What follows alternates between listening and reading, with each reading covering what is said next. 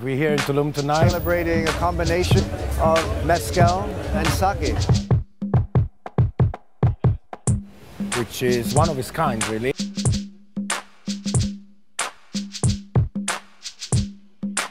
Mine was a chef, Diego. He comes from Ensenada. He's one of the most famous chefs in Mexico. It's the first time I am doing a dinner with both sake and mezcal. So the idea is to mix all these three concepts with also music.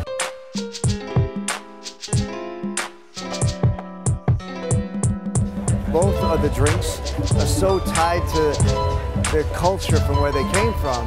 So to come here and have something which gives me new spices and tastes with my favorite drink in a new way is absolutely incredible.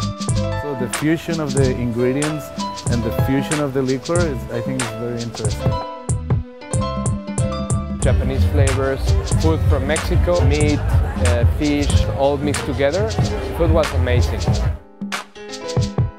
like, no, it absolutely works. You can have taste here, Start with mezcal you can have taste here. and then kind of like go into the sakes with the taste and start dancing,